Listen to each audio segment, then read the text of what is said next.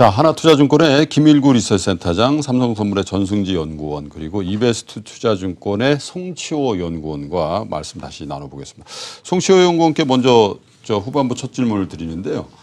에, 뭐 공정거래위원 쪽 위원회 쪽에서 주로 이제 주도합니다만 어차피 이게 법안으로 이제 원 구성을 지금 하고 있잖아요. 뭐 이제 뭐 상임위별로 누가 이제 법사위원장은 누구 거냐, 운영위원장은 누구 거냐 가지고 이제 여야가 줄다리기 하고 있는 것 같은데 주주 자본주의의 강화를 에, 하는 그런 법안들이 지금 상정이 되고 어, 통과될 예정이라고 그래요. 그게 어떤 게 있습니까?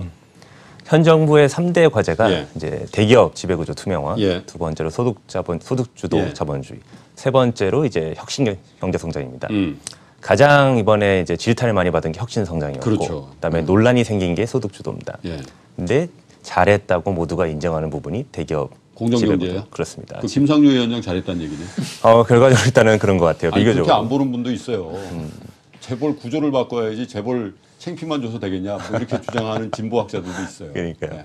그래서 이제 법안이 사실 받쳐주지 못했거든요. 네. 보면은 이제 법, 뭐 의원 구성이 네. 절반이 안 되다 보니까 통과된 법안이 없습니다. 음. 그럼에도 불구하고 공정위의 여러 가지 이제 권한을 통해서 음. 변화를 이끌어냈고 예. 음. 현대도 부결은 되지만 진행을 시켰던 겁니다. 그리고 법안이라는 게 예를 들면 뭐예요? 예를 들어서 가장 대표적으로 일감 몰아주기 법안. 예. 그다음에 두 번째로는 이제 금융 계열사들이 보유한 이런 비금융 계열사 지분에 예. 대한 의결권 제한하는 거. 그렇죠. 예. 그 다음에 이제 지주 비율에 대한 법안 예. 이런 것들이 있습니다. 지주 비율 그러니까 지주 요건 지주회사로 가는데 요건을 좀 강화하는 거죠. 그렇죠. 음. 이세 가지 법안들이 공통적으로 말하는 거는 이제 주로 삼성이고요. 예. 일부 현대를 말하게 되는 겁니다. 예. 그래서 이런 특히 삼성이나 현대 같은 음. 초대형 대기업에 대한 그런 여러 가지 지배구조 투명화를 강제하는 법안이고요. 그만큼 또 마찰도 많았기 때문에 통과도 안 됐던 예. 것들입니다.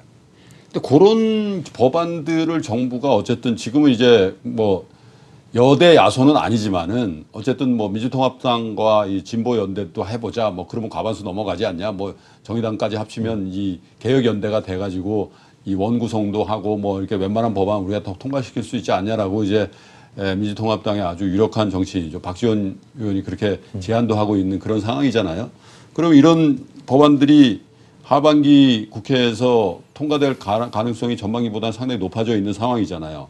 그런 상황에서 우리 투자자 여러분은 대기업 의 주식에 투자할 때 어떤 차관점을 가지고 투자하고 조심해야 됩니까? 굉장히 중요한 질문이고요. 예. 어, 삼성을 통해서 제가 예. 설명을 드리도록 하겠습니다. 일단 저희가 일반적으로 이제 지주 회사를 하시는 분들 또는 예. 여의도에서 음. 이제 그룹의 지배 구조를 공부할 때는 보통 저런 걸 공부하세요. 뭐 이제 뭐 가족 관계, 예. 친인척 관계, 네. 뭐 심지어 뭐 반계도 공부하시는 걸 봤어요. 예. 근데 이제 그분들이 속마음을 읽어야 돈을 번다는 거죠. 예. 저는 반대로 해야 되는 어떻게 읽어요? 그, 뭐 만나본 적도 없는 그 많습니다 여러 가지 신문들이. 예. 근데 이제 저는 반대로 해야 되는 상황이 됐다라고 예. 보는 거고요. 오히려 대기업의 이런 속마음을 음. 반대로 행동하는 예를 들어서 그들이 일단 몰아주던 곳들 음. 때문에 피해를 보던 곳들이 있습니다. 아. 그런 곳들을 찾아서 투자하는 게 지금은 저는 훨씬 더 좋은 방안으로 보고요. 삼성으로 제가 설명 드려볼게요. 아. 예. 삼성을 보면 크게 보면 금융계열사 쪽이 있고요. 예. 일단 삼성전자가 있습니다. 음. 그다음에 삼성물산이 있어요. 음. 여의도에서는 어떻게 얘기했냐면 이제 삼성물산을 중심으로 음. 지배 구조가 개편된다. 그래서 뭐 이제 삼성전자가 삼성전자 지분을 뭐 금융계열사에서 사오고 뭐 갖고 있는 다른 것들을 매각을 하고 뭐 이런 식으로 해서 삼성물산에 그렇게 같이 하려고 뭐 제일 거죠. 모자하고 합병하고 그렇죠. 그 소동을 부린 거 맞아요. 아니에요? 예. 근데 그거를 못하게 하는 어, 여러 가지 행정수단 및 법안이 상당히 많이 대기 중입니다. 가- 굉장히 강력한 수준의 네. 법안들이고요. 네. 어, 예를 들어 그러한 것들을 계속 요리조리 피해 가려는 모습을 보이니까 음. 그것들을 원천 봉쇄할 수 있는 법안들이 다 계류 중이에요. 음. 그래서 지금은 이런 겁니다. 그래서 물산을 중심으로 가치가 올라간다 이런 주장이 아니라 오히려 음. 예전 같으면 이런 겁니다. 삼성전자가 그런 지분들을 마치 주차장도 아니고 파킹을 해주는 거죠. 음. 삼성생명이 파킹이 되는 거예요. 근데 그렇기 때문에 삼성전자의 주주들의 입장에서는 기분 나쁠 수도 있었던 겁니다, 사실은. 그렇죠. 또 반대로 SDI 같은 그룹이 있어요. 삼성 SDI 같은 기업은 음. 뭐 사업만 키워놓으면 넘어갑니다. 음. 사업만 키우면 넘어가요. 근데 요즘 같은 상황에서는 그게 세게 얘기하는 거예요. 기업 지- 지주회사 간다는 좀 그래야 돼요. 예. 근데 이제 요즘 같은 지배 구조에서는 일, 뭐 요즘도 뭐 삼성 뭐 바이오니 등등등등 여러 가지 기업에서 뭐 사업을 뭐 어떻게 하니 어떻게 하니 뭐 설들은 뭐 계속 하잖아요. 그렇지만 그런 것들이 쉽게 진행될 수 있는 상황이 아닙니다. 현대의 사례를 보셨지만 느끼셨지만 그래서 저는 오히려 삼성전자나 삼성 SDI 같은 그런 오히려 지배구조단에서 피해를 보던 그런 기업들을 아. 투자하는 것이 더 좋은 생각이다라고 보는 겁니다. 아 오히려 이제 그 이 재벌 여러 가지 상장 계열사가 있는데 이 지배 구조를 그 오너 중심으로 이렇게 재편하는 과정에서 아 왜 이것까지 우리한테 요구를 하세요 이렇게 했던 그 그렇죠. 계열사들이 예. 정부의 어떤 이런 그 일감 몰아주기라든지 이런 예, 재벌의 소유 구조를 투명하게 하라고 압박을 하는 그런 조치들이 나오니까 아 이제 안 해도 되나 보다 이런 상황으로 간다는 거죠. 그렇습니다. 예, 그런 상황으로 봐야 될 것 같아요. 그게 대표적인 게 어떤 어떤 회사? 저는 삼성 SDI 요즘에 SDI. 지- 제 지주회사 담당이지만 아니 마찬가지로 근데 네. 그러고 보니까 삼성 삼성그룹에서 SDI만 오른 거 아니에요 최근에? 요즘에 좋습니다. 네? 실제로 좋습니다. 아니, 물론 이제 SDI가 그것 때문에 올랐는지 뭐이 전 배터리. 배터리 때문에 올랐는지는 이제 두고 봐야 될 문제지만 어쨌든 SDI가 맞습니다. 올랐죠. 네. 그래서 대기업 그룹 계열사 중에 군계 1학이던데. 그렇죠. 예. 배터리 사업도 제가 이제 사업 지주 회사들도 여러 가지 커버를 하고 있어요. 에너지 사업 그렇군요. 관련돼서 자료를 쓰고 있고 예. 실제로 ESS도 굉장히 매출이 잘 되고 있고 예. 그다음에 전기차 관련돼서도 내년 내후년에 예. 저 차트를 좀 가지- 장기 차트를 좀 보여주시면 좋겠네요. 예. 여러 가지 파이프라인들이 진행이 이제 준비가 돼 있지 않습니까? 예. 그래서 예. 어, SDI 같은 기업이 예전엔 이런 이런 걱정을 하는 거죠. 이 기업에서 이렇게 배터리 잘 나가면 이거 혹시 뭐 또 어디 뭐 사업 넘어가는 거 아닌가 이런 걱정들을 했었어요. 근데 지금 상황에서는 음. 이 사, 이 회사가 배터리에 대한 영역을 이제 확정이 된 거거든요. 그럴 수도 그렇다면 이 회사가 갈 수밖에 없는 거고 이 사업 자체는 장기 성장성이 굉장히 좋습니다. 아 실제로 이제 우리 김을규 센터장님도 이제 증권회사 계시지만 증권회사 이렇게 예전에 하다 보면은 돈 잘 버는 부서에 자꾸 비용을 내리는 경우가 있더라고요. 그래가지고 그 부서원들끼리 회식하면서 왜 우리 돈 잘 보고 되는데 여기를 더 키워줘야지 왜 우리 보고 비용 떨라 그러지 그런 경우도 있잖아요. 예, 그렇죠. 네. 회사에서는 하나 회사에서는 그렇죠. 그게 이제 회사를 넘어서 이루어지게 되면 그 일감 몰아주기고 뭐 이런 건데 예. 회사 안에서는 다 그렇게 아니 근데. 그게 사실은 그 회사 단에서는 그렇게 해도 돼요. 예. 왜냐하면 그 회사의 재무제표는 종합적인 게 나오니까. 그런데 이건 독립된 회사에 독립된 주주들이 있잖아요. 저는 삼성 삼성그룹에 투자한 게 아니라 삼성 SDI에 투자했는데 왜 여기에 비즈니스를 침해하냐? 근데 그게 없어지면 반사 이익을 볼 수 있다는 그런 아이디어네요. 이번 현대그룹에서도 결국은 모비스의 기존 주주들이 음. 그 모듈 사업에 대해서 반대를 한 거거든요. 그렇죠. 그렇기 때문에 같은 맥락에서 보시면 될 것 같습니다. 그렇군요. 송초 연구원 말씀하신 거 들으면서 음. 우리나라 주식시장의 새로운 역사가 시작되긴 시작된 것 같다라는 느낌을 받습니다. 그러니까 네. 기존에 이제 저 저기 그룹사와 관련해 가지고는 아까 말씀하신 것처럼 어, 대주주가 어떤 생각을 하고 있느냐 거기 뭐 증권회사는 늘 집중을 했고 그쪽으로 따라가야 된다 그렇죠. 뭐 이런 이야기를 늘 해왔어요. 근데 그러다 보면 어떤 일이 생기냐면 그 의도를 읽고 이 주가가 올라갔는데 그러면 이제 대주주 입장에서는 이걸 이게 아니고 다른 걸로 가버리는 경우가 많은 거죠. 그러다 보니까 어 뭐 투자자 입장에서 이제 뭐 좀 좋지 않은 그런, 그런 결과들도 나오고 했는데 뭐 송초 연구원 이야기하는 걸 들어보면 굉장히 좀 어, 냉정한 입장이거든요. 냉정하게 아, 생각을 해보자. 이 회사 이 회사 다른 거다. 이- 이렇게 접근을 하는 게 그게 이제 우리 제- 제- 제가 볼 때는 정석인 것 같아요. 주식 투자에. 그래서 저는요 사실 개인적으로는 그 승계 과정이나 승계를 해야 될 만한 입장에 있는 대그룹 계열사는 저 투자 안 했습니다. 네, 그리고 좋게 얘기도 안 하고 왜냐하면 아까 말씀하신 것처럼 그분들의 마음을 우리가 어떻게 읽냐 이거죠. 지금. 김 센터님 말씀도 이쪽으로 쭉 몰리면은 이쪽이 더 유리해지잖아요. 맞아요. 그래서 이렇게 딱 가버리면 그 다음엔 무방비 상태가 된대 개인 투자자들이. 그런데 사실 우리나라 재벌 계열사들이 다 승계라는 이슈가 있는데 그 계열사들을 다 빼놓고 투자하려니까 또 정말 조그만 주식만 투자해야 되는 그런 딜레마 있고 또 저희 같은 이제 개인 투자자들이야 뭐 500만 원, 1000만 원 투자하니까 그런데 찾아서 하지만 국민연금이라든지 대규모 투자자들은 그런데 투자 안 할래야 안 할 방법이 없잖아요. 그런 문제가 있죠. 그러니까 사실은 여의도에 돌아다니는 이른바 찌라시라든지 이런 내용들을 간혹 가다 저도 이제 세상이 어떻게 되는지 간혹 가다 보면은 아 뭐 재벌 계열사에 무슨 이렇게 자녀들이 있는데 요즘에 이분하고 더 친하다 뭐 이렇게 해가지고 막 유추 해석해가지고 주가도 막 이런 부분 그런 거 하지 말자는 거잖아요 이제는 그렇죠. 그죠? 그래서 이제 행동주의자 음. LA에서 가장 대표적으로 음. 한국 역, 증시의 역사를 바꿨죠. 어떻게 보면 예. 경제나 정치의 역사도 영향을 준 분들로 볼 수 있을 것 같아요. 글쎄요. 그렇기, 그렇기 때문에 엘리엇 같은 또 엘리엇이 사실상 이런 겁니다. 엘리엇이 현대차 그룹의 지분을 네. 1.5% 가량밖에 안 들고 있었습니다. 음. 그럼에도 불구하고 그렇게 큰 변화를 만들어냈거든요. 이걸 보면 다른 것도 들어오는 거죠. 자, 이제 7월 장이 벌어지고 있고 이제 열리고 있고 11월에 11월 첫째 주죠. 미국의 중간 선거가 네. 예상이 돼 있기 때문에 사실은 대부분의 이 정세를 분석하는 분들이 야 미중 간의 이 무역 갈등이라든지 이런 것들은 사실 11월 저 선거 전이 확실해질 때까지 계속 페달을 밟아서 트럼프가 그거를 본인의 에, 중간 선거가 아니라 사실 중간 평가 아니겠어요? 거기에 이용할 것이다라는 그런 우려도 있고 또 이 북미 관계는 어떻게 보면 더 적극적으로 해서 가시적인 성과를 내려고 할 것이다. 약간 이중적인 입장에서 다음 주에 이제 폼페이오 국무장관이 또 북한에 가서 이 비핵화에 대한 압력을 좀 넣는다는 거 아니에요? 투자자 어떻게 해야 됩니까? 저도 기본적으로 이제 중간 선거를 앞두고 있는 미국 행정부로서는 어, 이게 긴장을 이제 그 스스로 물러날 가능성은 없는 것 같아요. 음.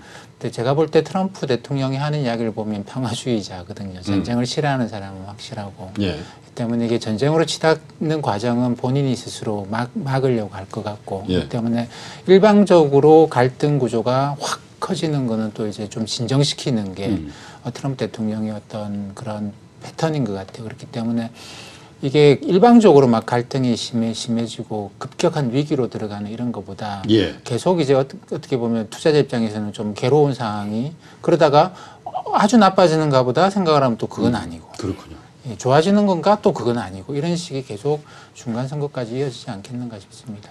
여하튼 트럼프한테는요 스윙 당하면 큰일 나는 것 같아요. 트럼프가 막 겁을 줄 때는 역발상으로 아 이게 좀 사야 되고 아니 사야 된다는 표현까지는 그렇지만 좀 적극적인 마인드를 갖고 트럼프가 뭐 다 된 것처럼 얘기하면 그때 고점이었던 것 같아요. 그죠? 네. 그러니까 저, 저 트럼프라는 그 어떤 이 정치 리더십에 대한 이 고민을 사실은 그냥 가십성으로 하지 말고 좀 더 정확하게 하면은 지금까지 1년 반 동안 답이 있었잖아요, 사실은. 네, 사실 트럼프 같은 사람을 그 주식 시장에서는 굉장히 많이 봅니다. 네. 그러니까 야 정말 좋아지는 것 같아. 근데 주가가 꺾여 내려가고 이제 다 팔아야 되는데 주가 올라가는 우리가 그 human indicator라고 이야기하는 사람들 정말 많거든요. 근데 정치는 늘 다르게 봤죠. 정치하는 사람들은 자기의 10년만 이야기를 할 거다라고 생각을 했는데 트럼프가 어떻게 보면 완전히 그 틀을 깬 사람이에요. 이 주식 하던 사람이 이제 대통령에서 그런지 주식 모르겠습니다. 엄청 좋아해요, 저 네. 트럼프 대통령. 그렇기 때문에 이야기하는 거나 행동하는 것 자체가 우리가 어, 휴먼 인디케이터로 활용을 해야 되는 그런 사람이지 기존의 정치인하고는 스타일이 네. 많이 다릅니다. 근데 이제 우리는 버락 오바마나 이 부시 대통령의 어법과 동일한 인지 구조를 가지고 여기에 넣어서 저 사람의 말을 해석하니까 자꾸 미스가 나온다는 그런 네, 얘기죠. 그렇습니다. 저기 유가하고 원자재 시장 간단히 좀 간단히 짚어보죠. 유가는 OPEC 총회 이후에 오히려 큰 폭 반등을 했고요. 음. 지금 70불대 위로 올라와 있고 비철 같은 경우는 구리값의 하락이 좀 우려스럽습니다. 아무래도 중국 우려, 뭐 미중 무역 분쟁이 있다 보니까 지금 장중에는 6,600달러도 좀 하회를 하기도 했었고요. 예. 일단은 뭐 유가는 오르고 비철 가격은 아, 하락하고 언제 73불까지 또 이렇게 올라와 있습니까? 일주일 동안 급 반등했습니다. 그러니까 이게 저 경기하고는 또 전혀 반대 방향으로 가 있으니까 사실 제각기 놀고 있는 상황이라서 유가도 사실은 에, 물론 이제 뭐 미국의 그 이란 그 원유에 대한 수입 금지 뭐 이런 것들이 이제 불안 요인으로 작용한 바 있습니다만은 이 수요에 대한 펀더멘탈이 받쳐주지 않으면 67불에서 73불까지 갈 수도 없는 거 아니겠어요? 또 긍정적으로 보면 그런 시각도 있는 것 같습니다. 간단하게 지주 쪽에서의 타픽이 있으면 소개해 주세요. 이제 앞서의 맥락에서 음. 이렇습니다. 현대차 그룹을 지배 구조 관점에서 좋게 보는 시각은 버리자라고 보는 거고요. 삼성그룹 입장에서도 물산은 좀 예. 부담이 된다라고 음. 보는 거고요. 음. 반도체 시장까지는 모르겠지만 지배 예. 구조 관점에서는 삼성 전자와 SDI 이렇게 보고 있습니다. 음, 삼성그룹의 SDI를 더 방점을 두시는. 거거든요. 삼성전자는 워낙 업황의 흐름에 좀 좌우받고 있는 데고 또 워낙에 사실 개인 투자자들이 4만 원대 돼 있어도 잘 안 들어가시더라고요. 네? 삼성전자 250만 원대 왜못 사세요? 그러니까 아 너무 비싸요. 아니 4만 5천 원인데도 못 사세요? 그랬더니 아 이거 액분했잖아요. 이렇게 얘기하더라고요. 자, 한 줄 평을 좀 들, 들을까요? 예. 네, 지금은 기본적으로는 어떻게 보면 10년 호황이 이어졌고 그 호황이 끝 무렵인 것 같아요. 한국 같은 경우는 안- 아니다라고 생각할 수 있지만 글로벌 경제로 보게 되면 10년 호황이 끝이고 그러다 보니까 이 끝무렵에 나타나는 이런저런 시그널들이 있습니다. 그러니까 너무 좋게 봐서는 안 될 것 같고요. 그렇지만 또 이게 어, 끝무렵이라고 해서 너무 비관할 필요는 그렇게 없고 왜냐하면 또 새로운 사이클이 또 시작될 그렇죠. 거기 때문에 네. 그렇습니다. 전승님. 예, 저는 트럼프의 수고요. 뭐 무역 분쟁, 북미 다 말씀하셨듯이 선거 앞두고 계속 뭔가 좀 얘기들이 있을 것 같은데 음. 트럼프가 아까 주식 좋아한다고 하셨는데 음. 선거 앞두고 주가가 너무 또 폭락하는 건 안 좋아할 것 같거든요. 그래서 당연히 안 좋아요. 예, 일단 센 소장님 말씀대로 위기나 뭔가 그런 쪽을 몰고 가진 않을 것 같아요. 적어도 선거 전까지는. 예. 그러니까 언젠가부터요. 이제 트럼프가 다 자지우지 할 수 할 수 있다라는 생각들을 저뿐만 아니라 다 하시는 것 다- 같아요. 다 하고 있습니다. 전에 제가 그런 말씀 다 드리고 하고 그런 게 어디 있냐고 트럼프가 뭘 하냐 그랬는데 요즘엔 다 트럼프만 보자라고 얘기할 그런 분위기도 잡히네요. 예, 송치호 의원. 저는 이제 힘들게 돈 벌어야 된다라고 네, 말씀드릴게요. 힘들게? 그렇죠. 아, 왜냐하면 편하게 좀 해주세요. 쉽게 쉽게 이제 어느 섹터 뭐 네. 이런 분위기에 편승해서 돈 버는 건 쉬웠는데요. 음. 지금 분위기에서는 이제 애널리스트 말들을 좀 더 들어야 되는 겁니다. 음. 이게 맞다는 게 아니라 공부하는 거죠, 같이 공부하고 종목을 공부해서 바텀업으로 좀 다가야 되지 않을까 음. 이게 봅니다. 이제 편승해서 돈 버는 시기는 이제 끝났다라고 말씀하는데 그 말씀이 저는 왜 이렇게 에, 유쾌하지 않은지 모르겠습니다. 더 부지런하게 여러분들 공부하셔야 된다는 말씀이신데요. 에, 저도 한 말씀 드리겠습니다. 오늘은 왜냐하면 상반기의 마지막이기 때문에요. 에, 주식 투자를 안 하든 하든 간에 저도 이제 주식시장을 관찰하고 있기 때문에 이 관심 종목 한 20종목을 넣어놓고 매일 이렇게 주가 추이를 보는데요. 최근에 이 큰 변동성장에서도 주가가 빠지면 강한 매수세가 들어오는 종목들을 어제도 봤습니다. 장중에 보니까요. 한 5% 6% 빠지니까 기관 외국인이 그대로 사버리는 주식들은 다시 오늘 같은 장세에 에, 강한 에, 시세가 연출이 되는데 그 주식들을 제가 어제 하루 종일 모니터링 하면서 봤는데요. 실적이었습니다. 1분기 실적이 surprise가 나고 2분기에는 더 좋아질 거라는 증권회사의 분석이 대체로 다 있더라 이거죠. 그래서 에, 이런 큰 변동성 장세에서는 어쨌든 에, 미래에 대한 꿈 그리고 주식에 대한 어떤 수급 이런 것보다도 그 회사가 지금 어떤 영업행위를 통해서 어떤 규모의 돈을 벌고 있는지를 더 정확하게 천착해야 될 때가 아닌가 그런 생각을 상반기의 마지막 순서에서 여러분께 꼭 드리도록 하겠습니다. 자, 비도 장마철이고요. 기후도 굉장히 불선한데 여러분 건강 관리 잘 하시고요. 주말 잘 보내시고 다음 주에도 정신아이는 전문가들과 함께 한 걸음 더 들어가 보겠습니다. 시청자 여러분, 투자자 여러분 고맙습니다.